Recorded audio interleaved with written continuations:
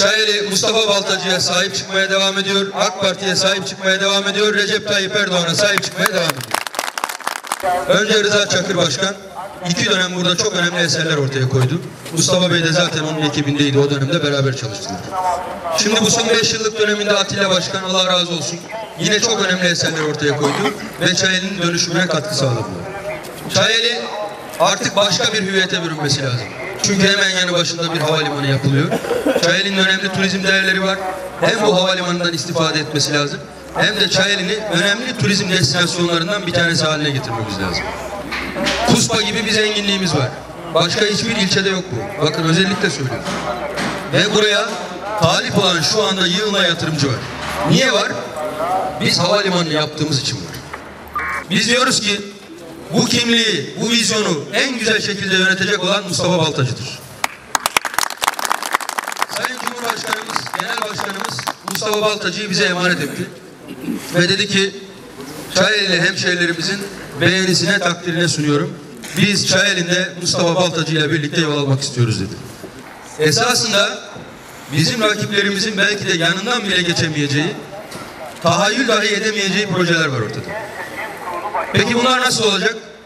Bunlar hep birlikte el ele vererek olacak. Çayeli'nin abisi, teşkilatların abisi Hayati Yazıcı bir taraftan, bir taraftan Osman Aşkın Bakbakanımız, bir taraftan bizzat ben bu projelerde Mustafa Baltacı'nın yanında yer alacağız. Ve hep birlikte bunların gerçekleşmesini sağlayacağız. Şimdi Çayeli'nde zaman zaman kafa karışıklığı oluşturmak isteyenler var. Biz de AK Parti'nin adayız diyenler var. Biz de Recep Tayyip Erdoğan adayız diyenler var. Çayeli'nde bir tane Recep Tayyip Erdoğan adayı var. O da Mustafa Baltacı'dır. Biz araçlarınıza Recep Tayyip Erdoğan'ın resmini asmanızdan gurur duyarız. Yeter ki genel başkanımızın resmini asın. Bizim için hiçbir problem yok. Ama bu Recep Tayyip Erdoğan adayının Mustafa Baltacı'dan başka birisi olduğu anlamına gelmez. Çayeli sahipsiz değildir. Çayeli Recep Tayyip Erdoğan'ın çok önem verdiği bir yerdir. Çayeli hep büyük siyasetçilerle çalışmıştır. Sayın Mesut Yılmaz buradan uzun yıllar başbakanlık yaptı ve buranın önemli bir değeridir. Sayın Hayati Yazıcı AK Parti kurulduğu günden itibaren çok önemli görevler aldı. Genel başkan yardımcılığımızı, bakanlığımızı yaptı. Ve biz de bir Çayeli olarak, ben de kendim bir Çayeli olarak şunu açık yüreklikle ifade ediyorum. Mustafa Baltacı'nın ve teşkilatımın emrinde olacağım.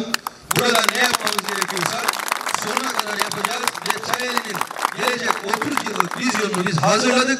Pazartesi gününden itibaren inşallah çalışmaya başlayacağız. Her şey şu anda masamızın üzerinde.